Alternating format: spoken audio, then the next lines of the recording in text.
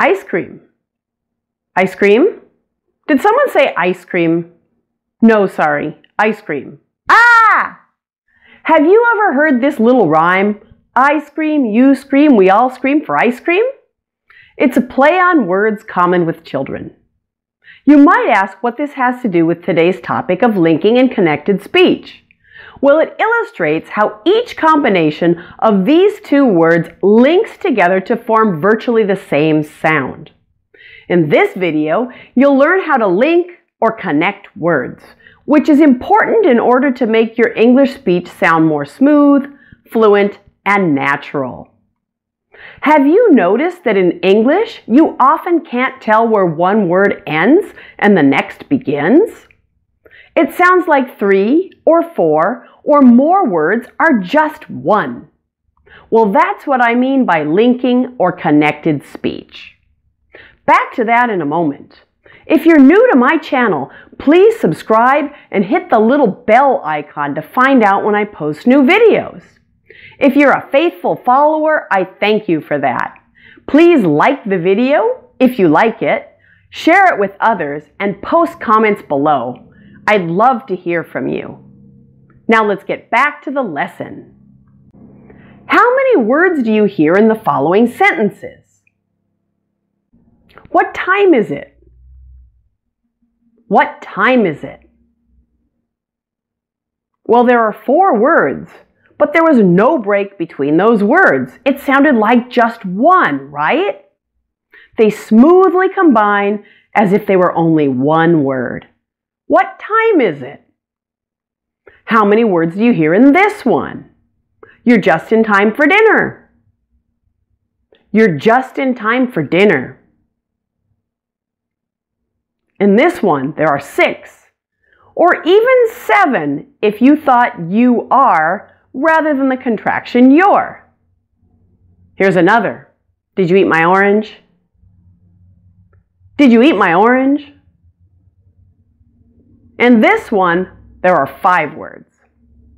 And the last example, where's my cell phone? Where's my cell phone? This one has four, or five if you counted the contraction where's as two words, being where is.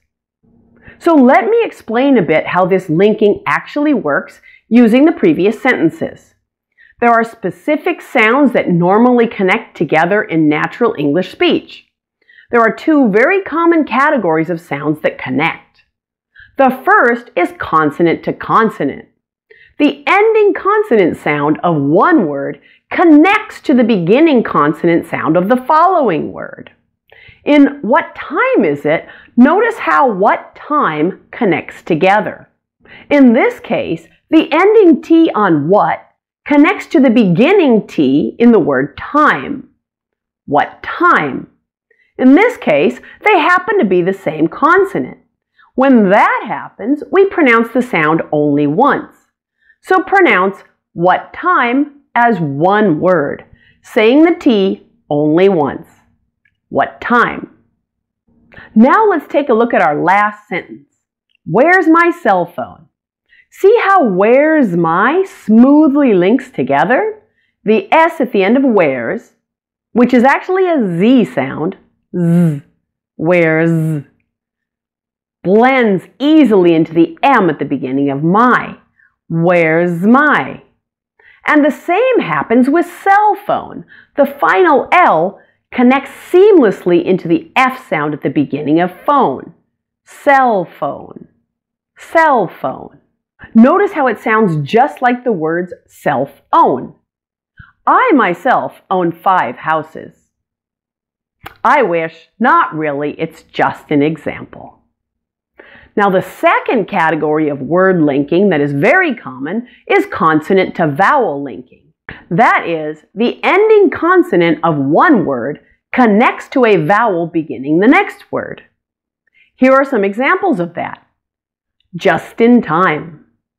Notice how just in sounds exactly like the name Justin.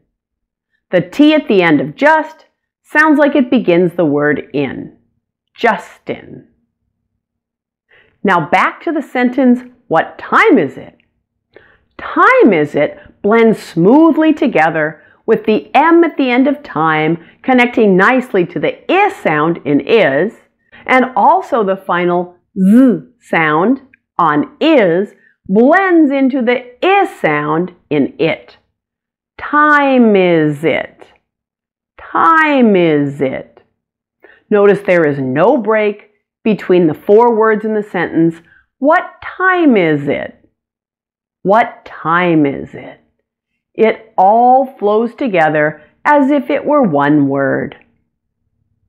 And finally, there is a third category of sounds that connect. An ending vowel connects to a beginning vowel, as in, did you eat my orange? There are two examples of this type of linking in that sentence. You eat, you eat, and my orange, my orange. Make sure to fully pronounce both the ending and beginning vowels in these blends. This type of linking occurs much less frequently than the previous two categories, since those vowel to vowel sound combinations don't happen as often in English. Now there you have it.